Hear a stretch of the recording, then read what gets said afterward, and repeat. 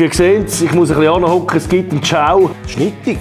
Es sieht schon geil aus. Ja extreme Ruine. Aber gebt nicht auf, Gell? fangt einfach an. Oh, Auspuff. Oh.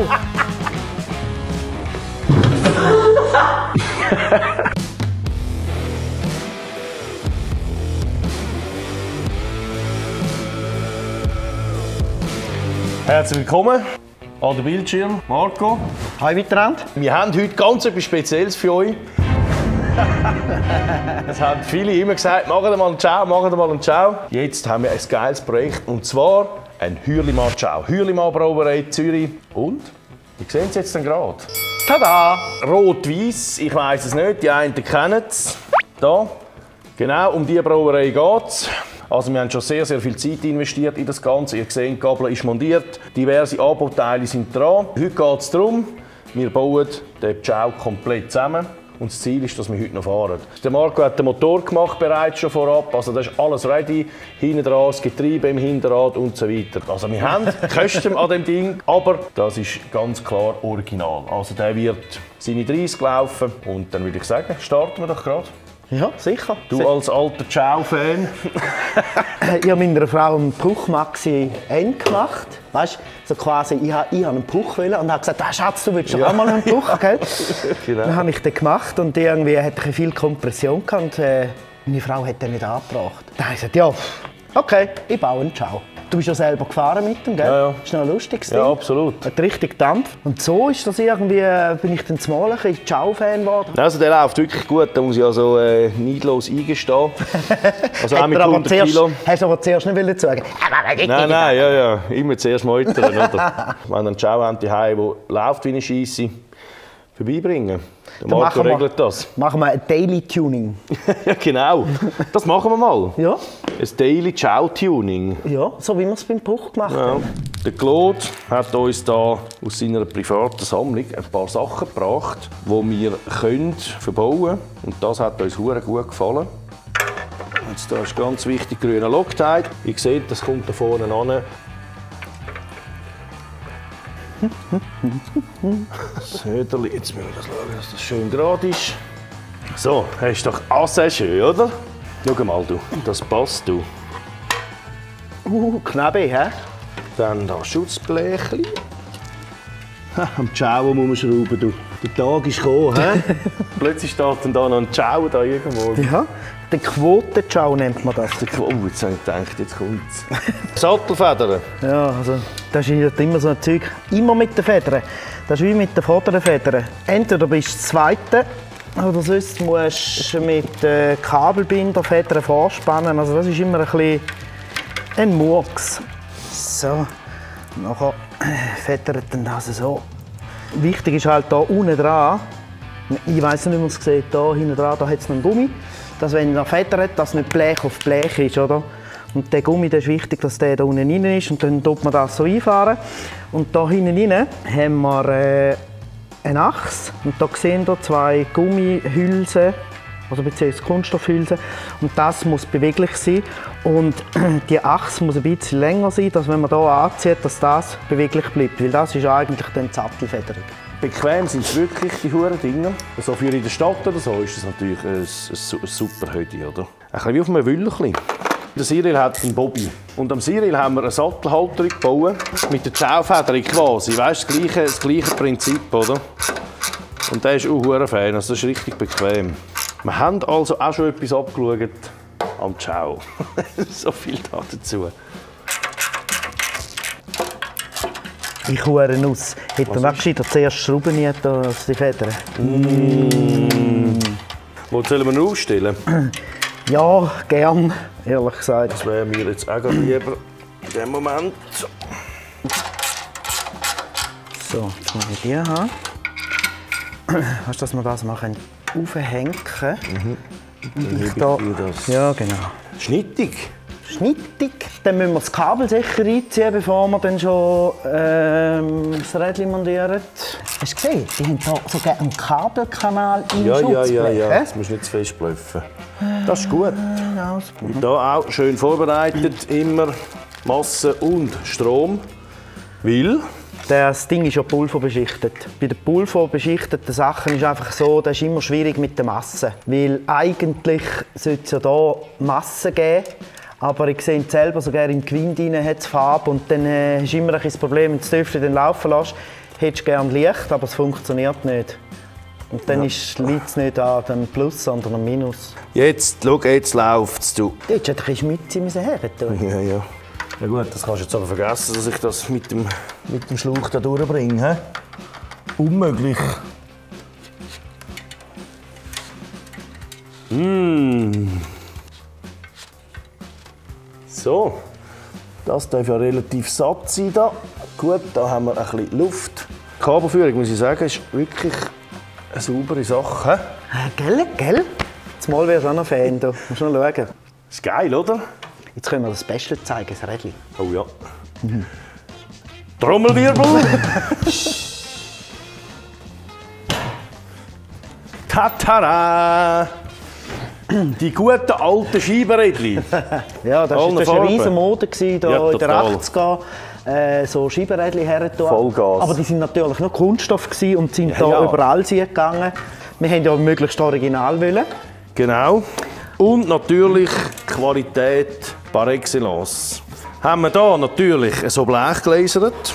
Danke vielmals Salzgeber, einmal mehr. Diese Seite ist eine Scheibe. Und wir haben bewusst wählen, dass man das natürlich noch sieht. Und diese Seite ist ebenfalls einfach eine Scheibe. Dann, dass man natürlich noch Luft pumpen kann, ist da das Ventil, das abgewinkelte. Und ich finde es echt eine sehr gelungene Sache, muss ich sagen. Also ich habe eine scheisse Freude. Die drei angedeuteten Fässchen, die hier liegen, ist innen dran ein weißer Kreis, also das. Dann haben wir eine dünne rote Linie rundherum, also da, Felgen. Und dann wieder ein bisschen breiteren weißen, perfekt Weisswandknöchel. Gut. Ja, Porno. Das sieht schon geil aus.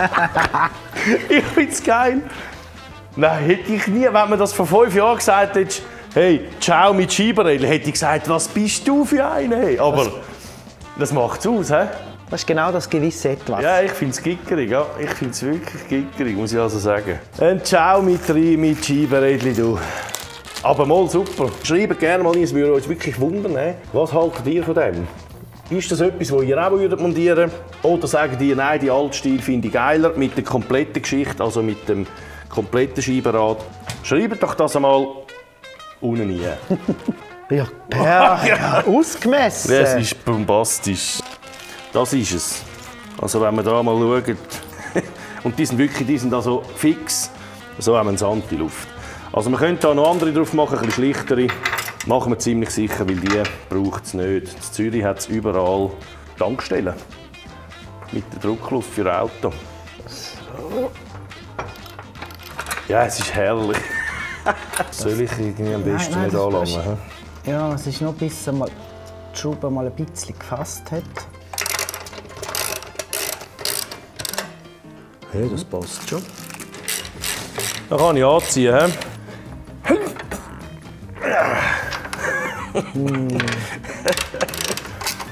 ja, stabil ist es eigentlich schon. Es stimmt alles schön. Merkst du, wenn ich anfange zu schwärmen? Weißt du was? Was? Kommt dann schon der Motor rein? Ja, bald. Vielleicht noch der Lenker zuerst. Ja.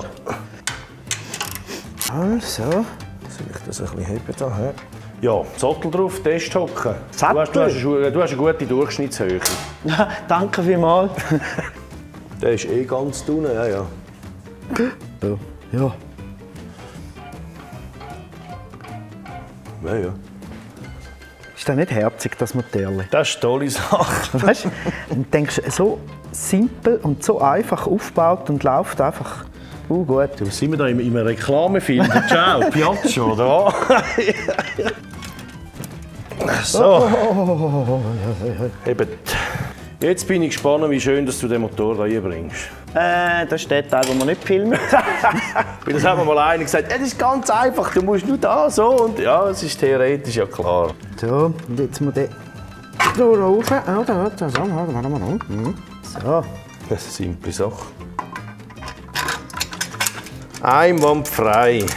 So, dann mache ich nachher mal Pause und du kannst erklären, wie du die Kupplung montierst. Schon verrückt. Merkt ihr das langsam? Das letzte Mal mit dem Kriegel im Keller unten dort an der Bierkiste geschweißt. Er hat geschweißt, ich habe ihn genervt. Und es geht weiter. Du hast dir Nathan schon überlegt, für Kabelzeug das willst du hermachen Machen wir da? Weisse? Ja, schwarze kann man auch. Die Dings sind auch schwarz, die, äh, die Stromkabel eigentlich. weiß hat es genug, finde ich fast. gell? Jetzt machen wir noch die Kupplung her. Dann montiere ich mal da den Vergaser. Die Kupplung aufpassen. Am Anfang habe ich immer gemeint, der kommt so drauf. Machst du Kupplung? Ja, schau.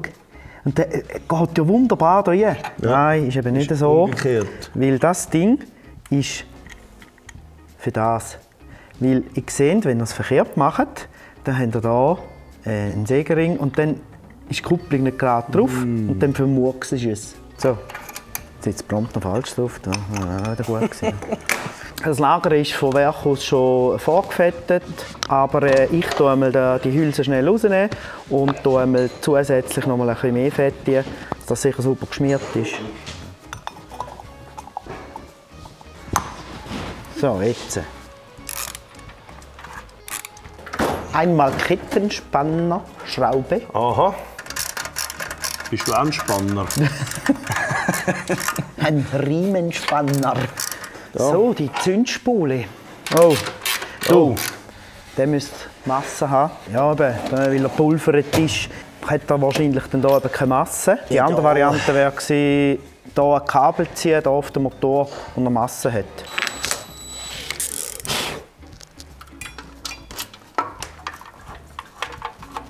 So, die Kette ist drin. Natürlich ein bisschen Schmutze her, ganz wichtig. He? Auch hier rein. Und natürlich den Spanner. Zack, abgehakt. In der Farbkombo kommt da jetzt das schöne Büchsli her. Und da rein hat es nachher, wie es immer, immer, immer braucht, auf der Tour. Also es braucht es nicht immer, aber man sollte es immer dabei haben. Ein Kerzenstecker, eine Ersatzkerze und äh, ein Lümpli. Jetzt die Oberhe. Da eben. Komme ich gerade warm über. Ich habe noch fast Wallungen da. Ah, ich habe noch etwas. Was? Warte schnell. Bringen. Ah, ja, das ist auch gut. Ja, rot, weiß Das ist und schwarz. Das ist ein tolles Tüchli. Scheppern brauchen wir nicht. he. Dann nehmen wir den nämlich raus und tun den hier zwischen rein. Einmal so, einmal so. Wunderbar. Jetzt hoffen wir nur, dass das hier Platz hat. wow. Können wir das zumachen? Das ist eine schöne Sache. Da haben wir ja noch etwas Lustiges drin. Die Hülimar, das sind nämlich lustige Brü- Brüder. he? Komm, wir machen schnell das Quartett miteinander. Weil das, nämlich, das sind noch lustige Scheiben. Die haben hier ein Quartett gemacht. Der Verwaltungsratpräsident, das ist nämlich der Beat Schlatter. Da ist äh, 18 er Seite, dann Nummern, Bauchumfang, hure geil. Bierkonsum pro Woche, Trinkfestigkeit von 0 bis 10 und Körperlänge. Ich fange an. Also, Biokonsum pro Woche. ah, du Siech. Wie viel? 5,3 Liter. Fuck! 3,6 Liter. 8 in der Trinkfestigkeit. Na, der hat es 10. Ja. Ganz ein Besoffener. da. Bauchumfang 93,5. Ha, 112! Oh, jetzt, jetzt Trinkfestigkeit 10. Ja, das 9. Das ist auch nicht schlecht, hä? Was? Musst du mal, musst du mal drüber lesen. Der Bernhard, Aktionär, Biotrinker und Pilot. Passt auch gut zusammen. Sehr geil, ja, voll. So, dann können sie das da wunderbar. Und dann haben sie immer etwas zum Spielen und zum Lachen. He? Ah, sehr schön. Jetzt haben wir wieder ein typisches Beispiel für Custom. Von Hand gekürzt quasi. Indem wir da die Tachoseite noch anpassen, muss man nämlich die Kanten ein bisschen brechen. Dann bringen wir nämlich die Tachoseiten auch sehr ring rein und sonst harzen die Dinger immer. Geht immer noch nicht rein. Dann hole ich mal ein bisschen Benzinschlauch. He? Du, da außen arbeitet noch einer. Wollen wir schauen, wer das ist? Geh verschrecken. Hm, Dreht weiter. Bist du nicht verschrocken? Ja, schon lange. Kunststoffscheibli. Zack, richtig um, jawohl. Freust du dich schon? Ja, wenn er dann läuft, dann... Der läuft schon, da hast du schon Vertrauen, oder? In deine... Du, aber den, den Luftfilter bringen nicht dir, das gibt's doch nicht. Das sieht jetzt natürlich wieder aus im Video, oder? Zack, du! 25 Minuten, ciao, komplett Revision.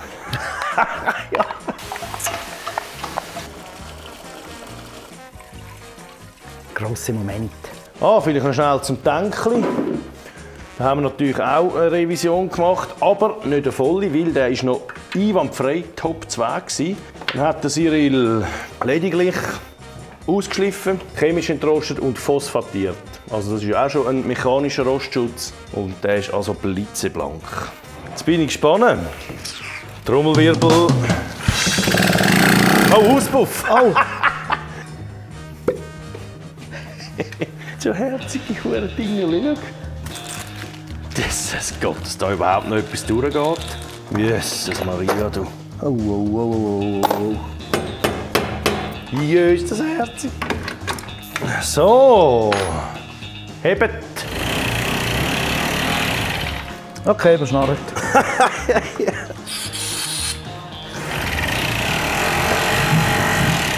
Mach nochmal. Ja, ja. Das ist eindeutig. Sie sind komplett im Falschen, oder? So, was? Ja. Ja, kann vielleicht gleich einen Einfluss haben. Die Hurenspulen gibt im mal falschen Moment einen, Impuls.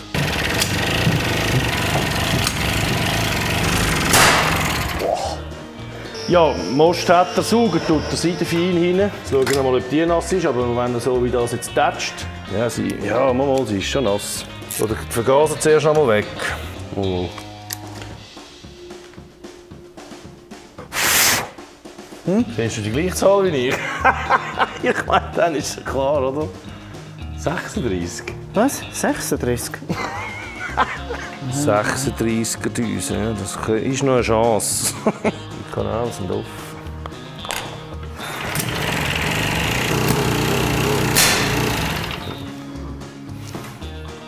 Nein. Nicht schlecht. Das ist komisch. Er macht nicht einmal ein bisschen die Anstalt, oder? Kurbelwelle. Was kann es noch sein? Wirklich zu wenig Most. Irgendwie hat er schon wenig. Nein, nein, von nass. nass. Mal, mal. So ein Arschloch. Ich meine, Most hat er, zündet tut er. Etwas kommt mir jetzt gerade in den Sinn.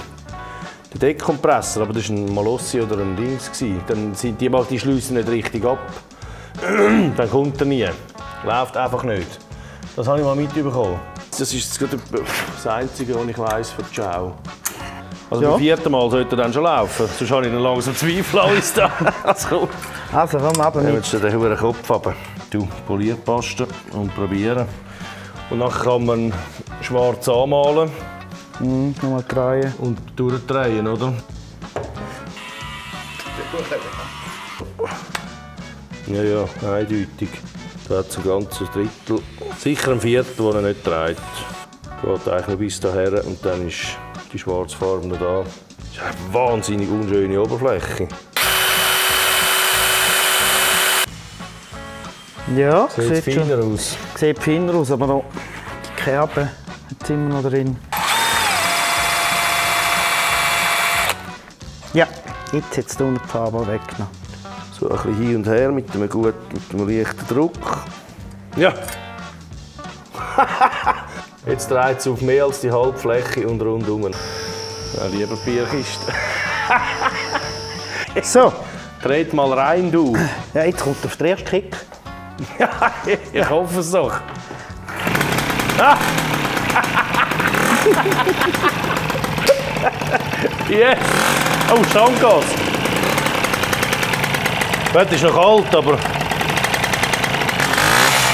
Jetzt können wir nicht mal schnell ein bisschen laufen.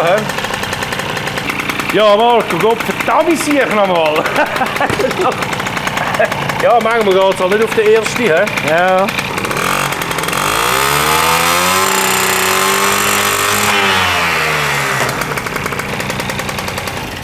Reiset's. Gut. Habe ich angezogen. Vorne müssen wir noch. Hast du angezogen? Ja, habe ich. Ja, einer von beiden hat meistens schon. Jetzt schifft es gerade wie ein Satan. Aber wir können einen Beschleunigungstest machen. Da drin rein. Wahnsinnige Da sind wir Beschleunigung. wieder bei Marco. Ein Durchschnittstyp quasi von der, von der Postur her. Und nachher machen wir sicher mal die Seitendeckel noch her.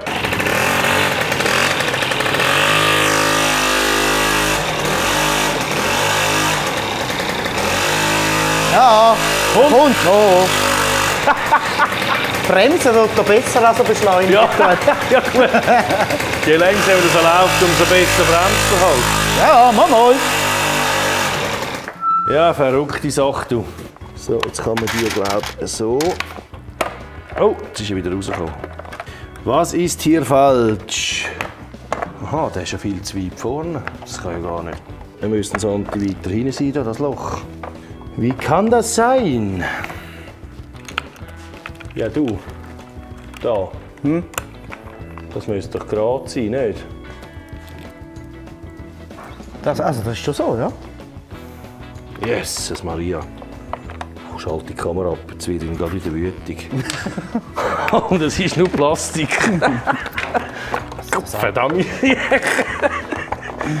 ja, ich halte schon gerne Sachs.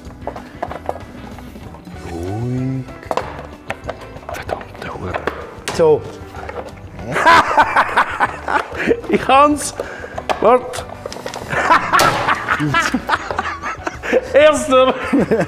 Leck mir am Arsch. Ist das ein Scheißdreck? Leck mir am Arsch und das stimmt sogar einigermaßen mit dem Benzinhahn und alles. Nein. Gut. Ein hoher Krampf für, für, drei, für drei Schrauben im Seitenschutz. Ja, darum Unglaublich. sind wir immer das Zweite in diesen Videos. Was, das passt? Da hat uns der Werkding, der Hänsel, wieder etwas hure Geiles bastelt. Da unten sehen wir, haben wir zwei Bügel und hinten ein Schloss. Da vorne sind das die zwei die Ankerpunkte und hinten dran haben wir einen Schlitz gemacht fürs, für, äh, für das Schloss. Weil, jetzt kann man das da nämlich seidefein drauflegen, führen schieben und dann kann man das da, mit bisschen Druck, zack, und jetzt ist das quasi gesichert und wir können das Töffel an dem Ding auflupfen. Es ist der krönende Abschluss. Schön.